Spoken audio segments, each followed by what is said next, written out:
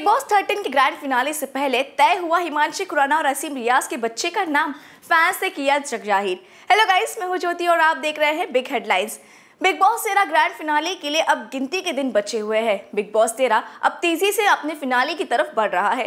इसके साथ ही सोशल मीडिया के यूज़र इस शो के लिए बहुत ज़्यादा एक्साइटमेंट दिखा रहे हैं।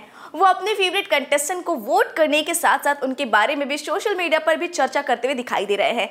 और ये सब ट्रेंड भी हो रहा है। हाल ही में सिद्धार्थ शुक्ला शहनाज गिल बिग बॉस के घर में अपने बच्चों के नाम के बारे में बातचीत करते हुए दिखाई दिए थे और इसके बाद फैंस बहुत ज़्यादा एक्साइटेड हो गए थे। बिग बॉस के घर में सिद्धार्थ शुक्ला से बात करते हुए शहनाज गिल ने बच्चे का नाम जोरावर रखने की इच्छा ज़ाहिर की थी। सोशल मीडिया पर उनका ये वीडियो बहुत तेज़ी से वायरल भी हुआ था दोस्तों। और तो और जोरावर ये नाम सोशल मीडिया पर खूब ट्रेंड होता भी दिखाई दिया था। फिर जोरावर नाम ट्रेंड होता देख बिग बॉस की एक्स कंटेस्टेंट हिमांशु खुराना ने भी सोशल मीडिया पर इसको लेकर एक पोस्ट शेयर किया है।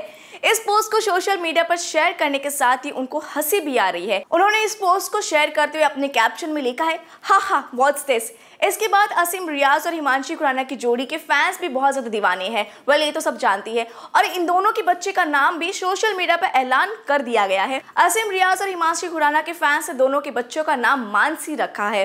वेल well, बहुत ही इंटरेस्टिंग बात है और ये अब बहुत ट्रेंड भी हो रहा है। वैसे अगर बात करें हिमांशी खुराना की तो बिग बॉस के घर में उनकी एंट्री वाइल्ड कार्ड के तौर पर हुई थी। बिग बॉस में एंट्री के बाद असीम रियाज ने उनको प्रपोज किया था लेकिन उस दौरान उन्होंने उसको लेकर कुछ भी खास एक्साइटमेंट नहीं दिखाया था।